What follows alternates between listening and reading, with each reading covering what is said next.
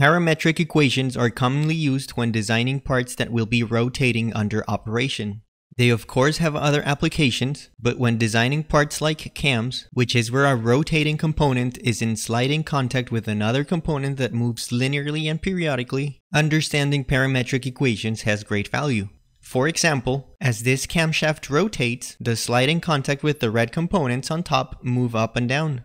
The amplitude and overall behavior of the periodic linear motion of the red shaft followers are controlled by the profile of the cams. For around half a rotation, each red follower is not moving at all. And then, because the radius of the cam is larger for some angle values, the followers are being pushed upward. In this case, the reason for wanting this type of motion is for the rest of the follower mechanism to keep a valve closed most of the time and then open for a brief period of time every time the shaft rotates. Just to back up a little for what we're gonna be covering today, if you remember from your trig class, Parametric equations are those that are written as functions of at least one independent variable called the parameter. For example, we can define a circle using parametric equations. If x is equal to 5 cosine of an angle theta and y is 5 sine of theta, we can vary the angle, which is the parameter in this example, from 0 to 2 pi, or 0 to 360 if you're using degrees instead of radians, to evaluate both parametric equations at different angles. If theta is 0, x would be 5 times cosine of 0, which is 1, meaning x is 5 times 1, or just 5. y would be 5 times sine of 0, which is 0, and therefore y is 0. The xy coordinate for the point we would plot would be 5 comma 0. If theta is 30 degrees, x would be square root of 3 over 2 times 5, and y would be 1 half of 5. If we continue with the other values of theta, like 45, 60, 90, we see that when we plot all xy coordinates, we get one fourth of a plot of a circle of radius 5. And of course, if we evaluate the x and y values for degrees between 90 and 360, we would get the rest of the plot of the circle. Now, these parametric equations seem more complex than just using polar coordinates, right? If we were just using an explicit equation in polar coordinates, all we would do is define r equal to 5. Technically, r is a function of theta, but since theta is nowhere to be seen here, it means that for any angle theta, r is equal to 5. Theta equal to 0, r is 5. Theta equal to 30, r is 5. Theta equal to 180, r is still 5. This is like saying in Cartesian coordinates that y is equal to 2. If y is technically a function of x, but x is not part of that equation, x can be 0, 1, 4, 7, whatever, and y would still be 2. We would get the same when plotting the radius 5. So even though polar coordinates are sometimes easier to work with, understanding how explicit functions in polar coordinates can be translated into parametric equations in Cartesian coordinates is very helpful for designs like these. So I suggest checking out the links below to the video summaries of basic trig concepts related to polar coordinates and parametric equations before moving forward. What must be clear before you proceed is that the x component of any r theta coordinate can be found by multiplying the radius times the cosine of theta and that the y component of any r theta coordinate can be found by multiplying the radius times sine of theta. This is just basic vector components math. So just as a quick review, if you do remember those basics, let's plot the equation of a cardioid in polar coordinates. If r is equal to 4 minus 3 sine of theta, we can evaluate r, which is a function of theta, for different values of theta. For example, for theta equal to 0, r is equal to 4. Therefore, at a 0 degree angle, the value of r is 4. For theta equal to 30, sine of 30 is 1 half, and therefore r is 2.5. So on the 30 degree line, r has a length of 2.5. For theta equal to 45, sine of 45 is square root of 2 over 2, and therefore r is just below 2. This means that on the 45 degree angle line, r is 1.879.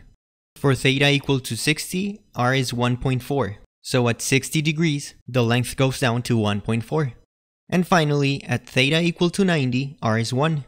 When we do this for angles between 0 and minus 90, we're effectively subtracting the negative values of what we just got, and therefore we end up with larger values in the fourth quadrant, that is, the bottom right one.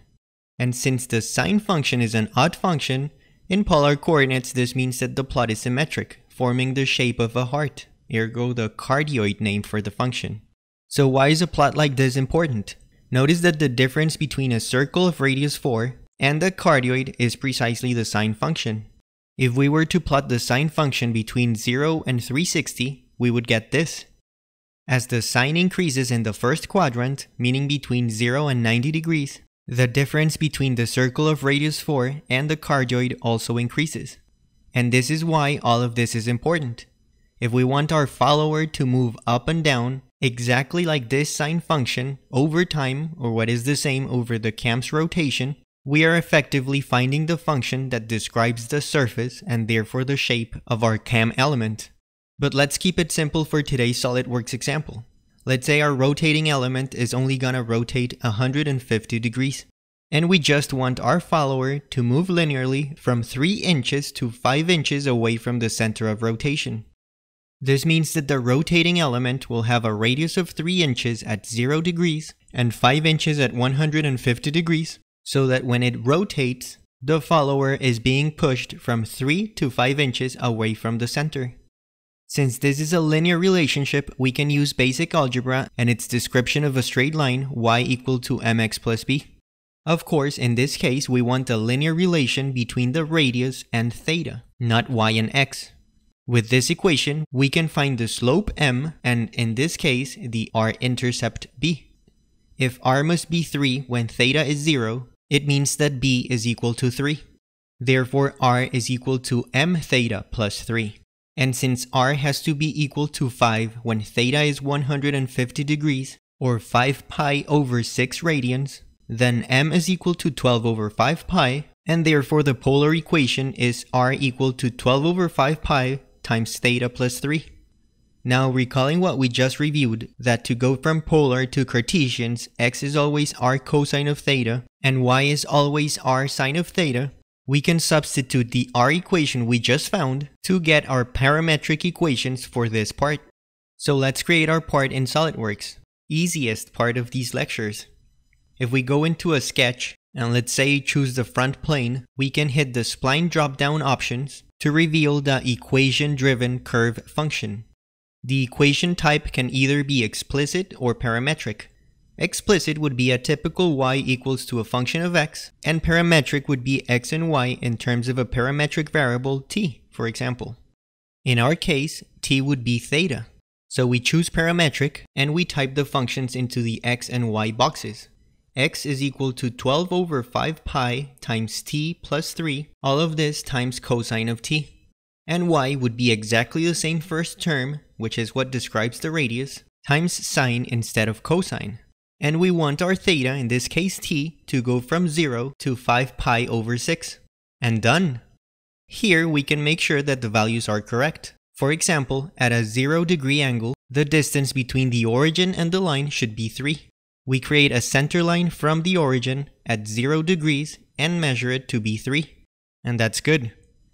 We create another center line, set it to make a 150 degree angle, trim the excess, and measure its distance, and great, it's 5, just like we wanted. We can even check for any other values of theta. For example, if this is in fact a linear relation, which is what we wanted, right at the middle between 0 and 150, meaning 75 degrees, the distance from the origin should be right at the middle between 3 and 5, right?